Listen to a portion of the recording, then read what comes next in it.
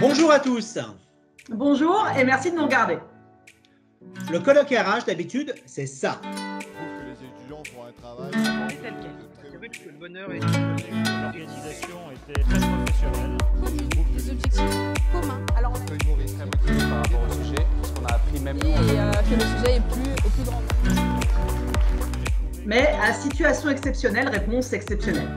Et oui, cette année, le colloque RH se transforme en une série documentaire en quatre épisodes sur les soft skills, thème dont nous ignorions à l'époque à quel point il allait se révéler d'actualité. Et à quel point nous allions devoir le mettre en œuvre tout au long de la construction du projet, car il aura fallu, entre autres, faire preuve de créativité, d'agilité, d'esprit d'équipe et d'adaptabilité. Nos apprenants se sont ainsi intéressés à la façon dont la fonction RH allait s'emparer de ce sujet pour répondre à différentes questions. Comment identifier les soft skills euh, lors du recrutement Euh, Quels leviers actionner pour leur développement Et de quelle manière les évaluer et les valoriser dans la gestion des carrières Comme chaque année, les apprenants de la promotion RMDRH ont travaillé pour répondre à ces différentes questions en s'organisant en groupe de travail. un groupe communication piloté par Chloé Niel et Maud Semelin qui a travaillé sur les éléments visuels et l'articulation globale du projet. Un groupe pratique piloté par Claire Perrochot qui a identifié des pratiques et interviewé des professionnels que vous allez retrouver tout au long de la série. Un groupe book piloté par Francis Cohen euh, qui a réalisé une étude très approfondie de la littérature disponible sur le sujet. Et un groupe enquête piloté par Florence Bourget qui a réalisé, diffusé et analysé un questionnaire sur le sujet. Et enfin un groupe vidéo piloté par Eric Watmin euh, qui a réalisé des courts-métrages souvent sur un ton humoristique. Vous retrouverez le fruit de ce travail au cours des différents épisodes, dont le premier va tenter de dresser un panorama des soft skills. Vous retrouverez par ailleurs euh, l'ensemble des articles rédigés par nos apprenants et les résultats détaillés de l'enquête le 8 décembre lors de la sortie de notre dernier épisode. Mais commençons déjà par le premier, par un extrait du court-métrage Corpolenta. Bonjour à tous et bienvenue dans Corpolenta, la bataille des managers. Ces quatre candidats pensent avoir les soft skills nécessaires pour mériter le poste de manager. Mais à la fin, il n'en restera qu'un. L'épreuve consiste à accueillir un nouveau stagiaire. Mélanie, 18 ans. Oui, entrez Vous êtes qui? Bonjour, c'est Mélanie la stagiaire. J'avais pas prévu de l'avoir dans les pattes celle-là. Je vais lui présenter tout de suite ses deux meilleurs amis, la cafetière et l'imprimante.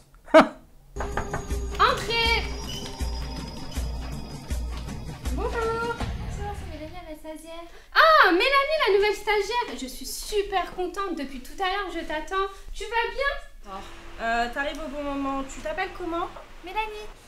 Ok, Mallory. Écoute, prends une chaise, installe-toi. Euh, cet après-midi, c'est euh, c'est un tout petit peu détente. Nous arrivons donc à terme de la première épreuve. Chloé, veuillez me rejoindre s'il vous plaît. La stagiaire a décidé de vous éliminer de Corpolenta. Un mot? Ils ont 5 minutes pour mémoriser une page.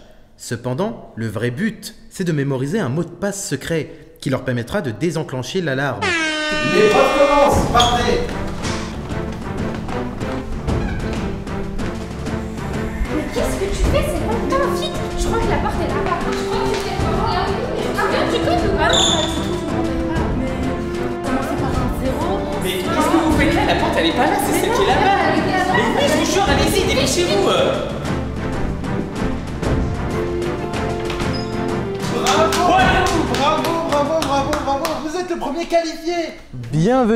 à la dernière épreuve, l'épreuve mythique des poteaux.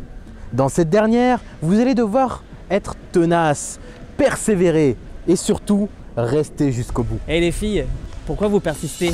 Ça sert à rien, je vais gagner. Hein. Laissez-vous tomber. Hein. Sonia tombe au bout de 1h20. Malheureusement pour elle, Maxime est le grand gagnant de cette épreuve.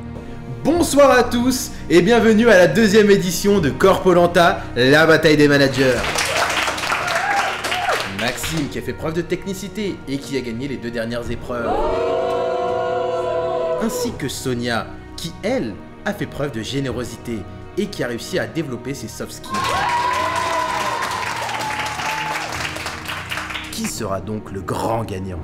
Maxime mérite de gagner Corpolenta. Cependant, les compétences techniques ne font pas tout. Et la direction et moi-même avons décidé de faire gagner les soft skills, c'est-à-dire Sonia. Félicitations, vous êtes la gagnante de Corpolanta. Les soft skills sont une notion encore très floue pour beaucoup, même si le terme est très en vogue. On les appelle aussi des compétences douces ou des compétences transversales.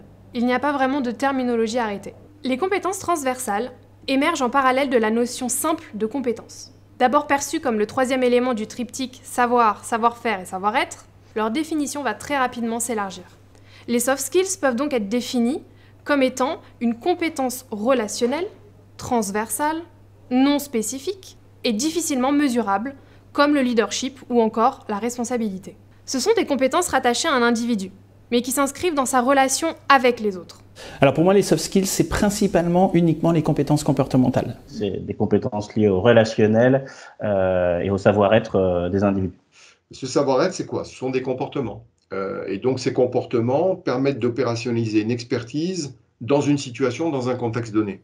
Des compétences voilà, qui, vont, qui vont révéler les talents naturels d'une personne.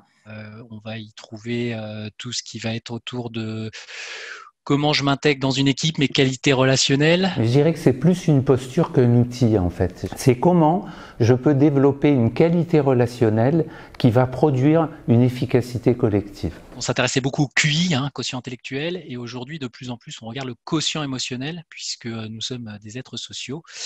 Et donc qui dit être sociaux dit émotion, et donc cette dimension pour moi rentre aussi dans, les soft skills. C'est tout ce qu'on n'apprend pas à l'école, qu'on peut avoir appris dans, dans sa famille, qu'on peut avoir appris euh, aussi dans des formations, qu'on peut avoir appris dans des expériences, euh, en regardant aussi les autres fonctionner.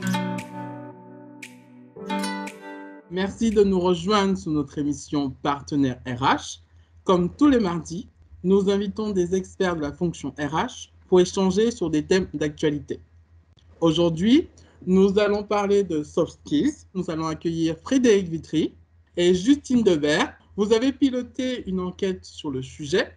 L'objectif était de savoir comment la notion des soft skills était perçue et comment notre échantillon cela représente, et surtout sa déclinaison dans le milieu professionnel. Oui, et en plus de la perception, on a cherché à comprendre comment on pouvait identifier les soft skills, euh, comment on pouvait les évaluer et comment on pouvait euh, effectivement les développer. Entrons maintenant dans le vif du sujet en abordant la perception de la notion. C'est une notion dont on parle de plus en plus en entreprise. On peut donc s'étonner de constater que près d'un tiers de nos répondants ne connaissent très peu, voire pas du tout, la notion des soft skills. Oui, alors cela s'explique probablement par le fait, euh, comme on l'a vu, euh, qu'il y a plusieurs écoles sur la manière de les nommer. Euh, on parle autant de soft skills que de compétences comportementales ou encore de compétences euh, transverses. Et lorsqu'on dépasse ce constat, on observe chez nos répondants qui connaissent euh, plutôt bien le sujet une vision assez juste de la définition des soft skills. Il s'agit pour eux de compétences comportementales. Toutes les compétences, à mon sens, peuvent se développer pour tous les, pour tous les collaborateurs. Alors là, vaste débat puisque nos répondants euh, ne tranchent pas encore. Oui, tout à fait. Il apparaît aux yeux euh, de nos répondants qu'elles peuvent être soit innées, euh, soit, soit acquises, ce qui nous semble être une perception assez cohérente par rapport à la vision que nous en avons. Ce qu'il y a de sûr, c'est que ça se travaille, la posture relationnelle. Ça se travaille tout le temps. La maîtrise de soi, la connaissance de soi, ce n'est pas forcément des choses qu'on apprend à l'école. Euh, c'est des choses qu'on peut apprendre au travers de hobbies euh, comme le sport, euh, la musique, les arts en général. Les hard skills, elles ne sont pas innées, elles s'acquièrent. Hein. si je ne vais pas à l'école, je ne vais pas savoir lire. Hmm. Si je ne vais pas regarder un professeur me faire faire des mathématiques, je ne vais pas savoir compter. Donc ça s'apprend. Donc je ne les opposerai pas, je dirais qu'elles se complètent l'une l'autre et qu'il n'y a pas de hard skills efficaces sans des soft skills euh, qui tiennent la route, pour faire court, et les soft skills en elles-mêmes ne suffisent pas s'il n'y a pas de la technique derrière. Euh, les soft skills, ça renvoie euh, à des talents comportementaux que l'on a au départ, mais que bien sûr, on va étoffer, on va valoriser, on va affiner grâce à l'expérience professionnelle, grâce même aussi d'ailleurs à la vie en général. donc je dirais que bien sûr, on a des appétences et on a des facilités au départ. Ce qui est vrai, c'est que l'individu, à travers son expérience, toute dimension, c'est-à-dire à la fois dans sa confrontation aux, membres de sa famille, dans le fait qu'il pratique avec d'autres personnes, par exemple des activités sportives, culturelles, qu'il aille à l'école, que bon, etc. Dans tous les, lieux de socialisation de, ces multiples expériences, chacun est face à des situations et, est confronté à des situations. Et en fonction de ces situations, la personne va développer tel ou tel euh, élément euh, de dimension de comportement. Quand j'étais enfant, on me disait que j'étais quelqu'un d'extrêmement curieux. Alors ça n'a pas changé, euh, c'est-à-dire que je continue à vouloir tout lire, à vouloir tout comprendre. Par contre, si je veux développer votre éthique, euh, si je veux développer, euh, je ne sais pas, votre joie de vivre ou votre entrain, bon, c'est déjà un peu plus compliqué. Ce qui fait la richesse des soft skills, c'est également le fait que ce sont des compétences qui varient d'un individu à un autre. C'est une prédisposition innée qui va être développée et renforcée par l'apprentissage en fonction de nos appétences, de nos facilités, mais également de l'environnement dans lequel nous avons grandi et dans lequel nous continuons d'évoluer. Chacun d'entre nous développera des compétences différentes, ou bien similaires, mais avec une appropriation variable. Voyons maintenant plus globalement quels sont les soft skills les plus prisés par les entreprises. En 2011, la Commission européenne a identifié 22 soft skills clés répertoriées dans cinq grandes catégories distinctes. De son côté, l'OCDE met en évidence les 4 C Critical Thinking, Creativity, communication et collaboration. Il y a énormément de compétences comportementales qui sont évidemment utiles. Alors je ne vais pas forcément toutes les citer parce qu'il y en a un grand nombre, mais on peut imaginer que c'est par exemple la résolution de problèmes, par exemple la communication, la relation interpersonnelle, la gestion du stress. Ces compétences sont euh, forcément utiles et effectivement on va demander en fonction des niveaux de fonction certaines compétences comportementales sur lesquelles effectivement la personne doit être au niveau pour pouvoir occuper une fonction par exemple une fonction managériale.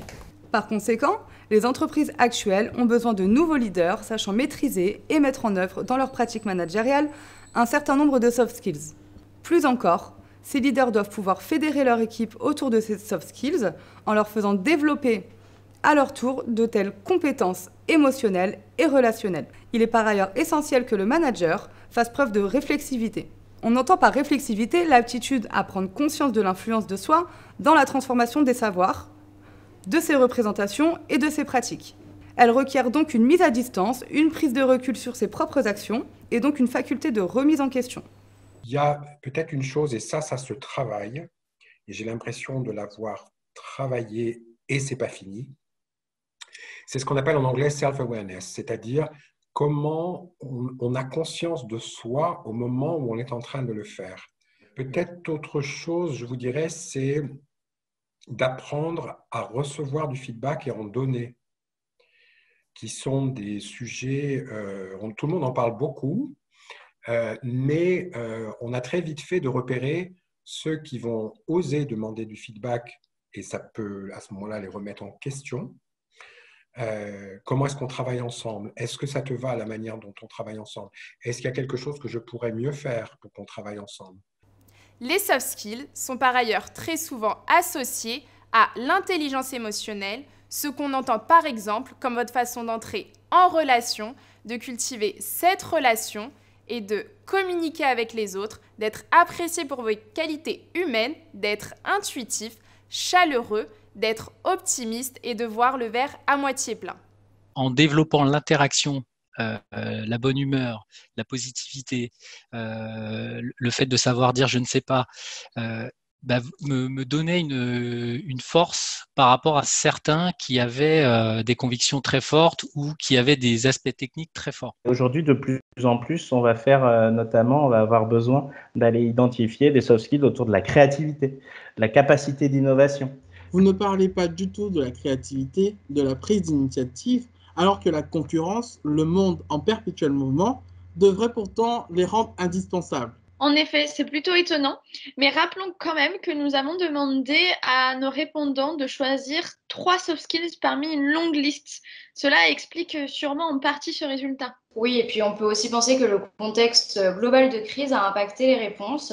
Euh, on a tous dû faire preuve d'agilité et euh, d'adaptation ces derniers temps. Et finalement, être agile et savoir s'adapter, est-ce que c'est pas une manière indirecte de faire preuve de créativité? Je me suis toujours demandé pourquoi appeler, on avait appelé un cadre un cadre. Vous savez, vous? Souvent, un cadre est regardé comme un statut. En fait, moi, je me dis que le cadre, c'est celui à qui on a donné la responsabilité du cadre. Autrement dit, c'est à lui d'imaginer le dispositif qu'il va proposer à son équipe pour permettre l'émergence vraiment du potentiel de chacun et de l'efficacité collective. J'ai travaillé avec Danone et suite à ce travail, ils avaient donné une définition que j'ai trouvée délicieuse en fait.